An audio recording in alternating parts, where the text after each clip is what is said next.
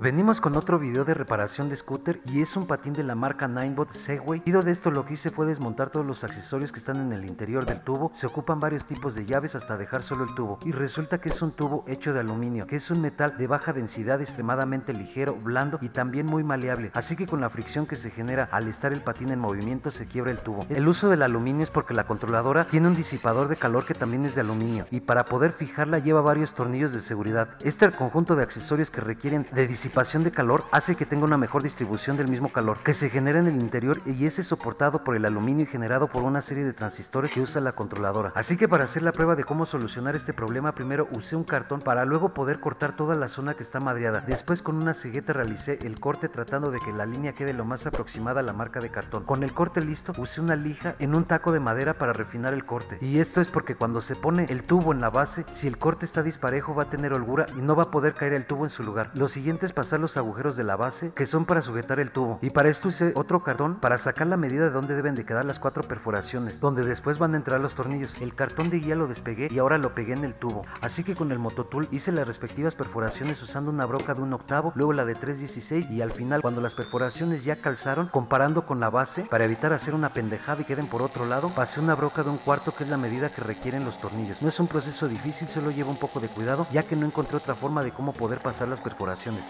momento de montar todo en el tubo también se tiene que hacer un corte al disipador de la controladora porque el tubo al quedar con una medida más corta y cuando metí el disipador al tubo el disipador no tenía espacio suficiente para que llegue a la base así que en caso de no hacer corte al disipador las perforaciones no van a llegar a la medida. Pero aclaro que sí se puede solucionar este problema